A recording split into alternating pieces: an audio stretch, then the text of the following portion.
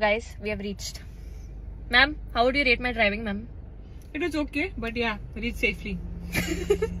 You'd always reach safely. I'm a good driver. No, guys. People keep honking at her. छोटी बच्ची that's not a lie. छोटी बच्ची छोटी बच्ची करके छोड़ देते ठीक है ना, whatever it is. Please use her Uber services.